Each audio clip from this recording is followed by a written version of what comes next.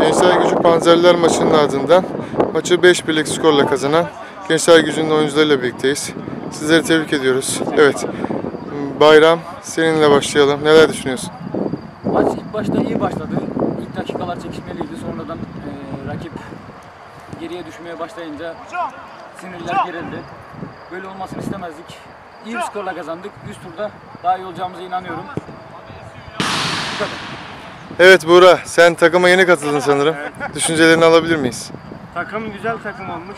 Hani bayağı böyle bir takım beklemiyordum. Çünkü bir önceki oynadığımız oyunda futbolumuz gerçekten kötüydü ama iyi oldu. Güzel takımdı. Rakibimize teşekkür ediyoruz. Diyeceklerim bu kadar. Çok sağ olun. Biz size bir üst turda başarılar diliyoruz. Teşekkür ederim. Hayırlı akşamlar. İyi akşamlar.